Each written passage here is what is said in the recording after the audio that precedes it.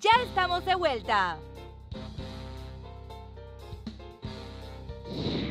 Panameño, si tienes pruebas de un delito electoral, destruyelas o tráelas a nuestras oficinas y nosotros las destruiremos por ti, sin costo alguno.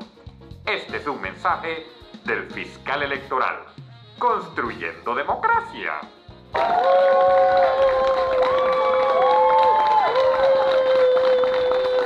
Y regresamos a Proyecto Criollo, su show de la televisión, con nuestro invitado de hoy, Luis Eduardo Quirós.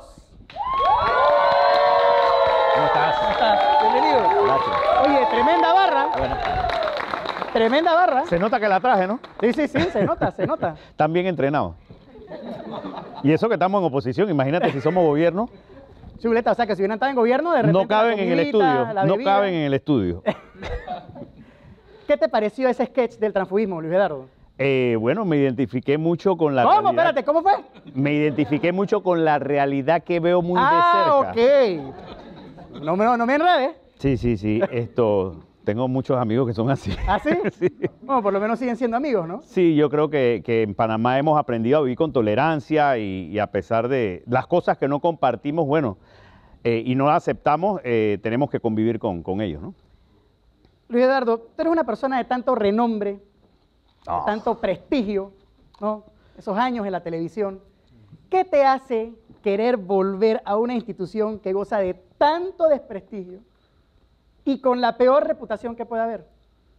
Bueno, yo cuando me metí en la política lo hice porque sentía que debía participar y tenía la oportunidad de ser aquellos que toman las decisiones y no esos que se quedan acá afuera viendo las cosas y que nunca participan en nada. Entonces, eh, traté de hacer cosas, no me fue muy bien, llegué siendo gobierno y he terminado siendo oposición. ¿Y qué se siente estar en la rosca y después estar fuera de la rosca? Se siente muy feo. ¿Así? ¿Por qué? Sí, sí, sí, Explícale a la claro, gente. ¿no? Eh, cuando tú llegas con tanto ímpetu y ganas de hacer cosas y de repente todo se te va truncando y todo se te va trancando y no puedes hacer cosas, te sientes un poco frustrado. Sin embargo, yo tengo la posibilidad de, de caminar por las calles de Panamá con la frente en alto y eso me hace sentir tranquilo y feliz. Yo creo que, que actué de la manera correcta y me siento contento con eso. ¿Te estás postulando? Gracias, gracias. Esa barra está dormida, ¿qué pasa? Se estaban demorando demasiado. Timing ahí, ¿eh? Sí, sí, sí. Te sí. estás postulando El coordinador está votado. Sí.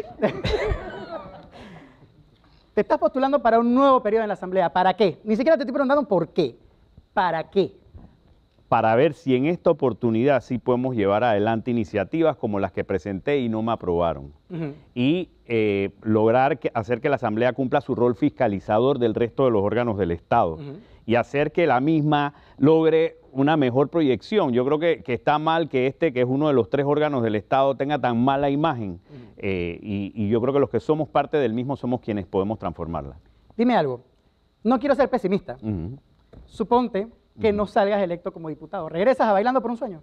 No creo que regrese bailando por un sueño, porque no yo... es tan bueno como el de diputado, me imagino, ¿no? Eh, definitivamente, eh, pero yo voy a, a ganar como diputado porque la gente va a reconocer que yo hice una buena labor y el día que esté en la asamblea vamos a celebrar contigo y con todos los amigos de Proyecto. ¿Conmigo?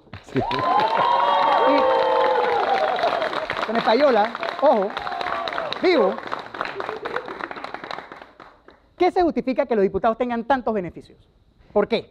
Sí, ¿Por qué hay- tantos beneficios para un diputado? Hay unas cosas que se llaman prerrogativas, ¿no? Que son ciertas Que hay que robarlas antes. situaciones especiales o beneficios, como lo llamas tú, que, Ah, ok. que les dan a los diputados en- desde la perspectiva de que el que hace leyes no debe ser influenciado por nadie y que debe tener una serie de facilidades.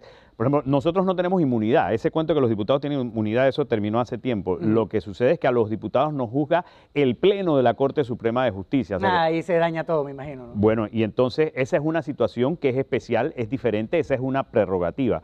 Otra cosa que tienen los diputados es, por ejemplo, lo del descuento este cuando se van a comprar los carros, que tú no pagas una exoneración de un porcentaje de impuestos, que no es el 7%, creo que es como hasta el 5% nada más, que era lo que había originalmente, y eh, en función de que los diputados no usan carros del Estado, sino que usan carros propios, compran los carros y esos son los carros con los que se mueven permanentemente. Pero se justifica esto. No, yo creo que tenemos que ir a una, a una sociedad donde haya cada vez menos ese tipo de prerrogativas y donde todo el mundo o sea, se mueva normalmente y, y nos tratemos como iguales, ¿no? La- los fueros y privilegios no son positivos.